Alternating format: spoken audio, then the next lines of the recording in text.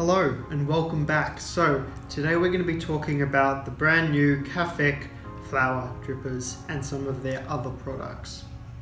So welcome back. Without further ado, my name's Liam from Basic Barista. Before we started stocking these flower drippers, we uh, stocked their roast profile filters. So we got the T92s, the T90s, and then the T83. We also have been stocking the Abaca um, filter papers made by Cafec. And we also have the origami filter papers which are made by Cafec as well. So the two drippers that we are currently stocking are the, the clear plastic 4 cup size and the same sized ceramic pink flower dripper.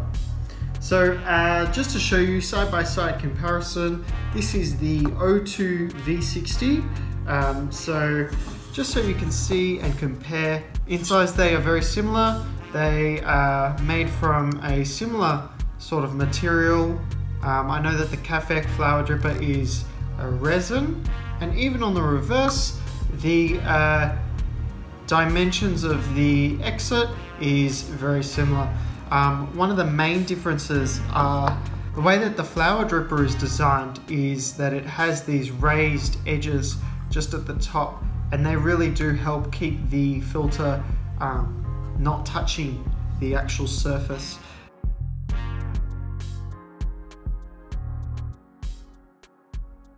These, these little ridges, they're not as, as high as these ones are. These ones do, the flower does a really good job of lifting it up.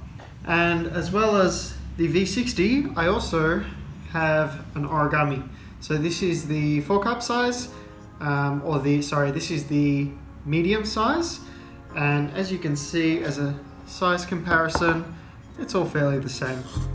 Um, and you'll have to keep in mind that this origami will be a little bit shorter just because it doesn't have the base or it doesn't have the ring attached.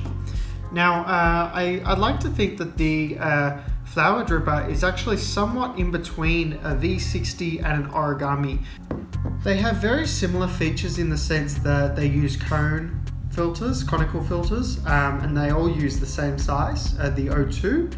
So um, you can use V60s, uh, you can use Hario V60 filters. These are made from ceramic, not from porcelain, um, and they're very, very beautiful. And we had to stock them in the pink color, just because that's kind of our thing. and we thought that they looked the best out of all of them. They also come with these cute little branded scoops. I'm not sure whether or not you'd use them. We uh, tend to use volumetric measurements rather than, um, sorry, we tend to use weight in grams as our measurement when brewing, um, but you know, some people still use volume and that's okay. So that's just a quick little intro into the Cafec drippers. Um, check out our website for some more details. If you're interested in the filters as well or have any questions at all, um, always feel free to drop us a comment. If you like this video, give it a quick thumbs up. Thanks so much for watching again and we'll see you guys next time.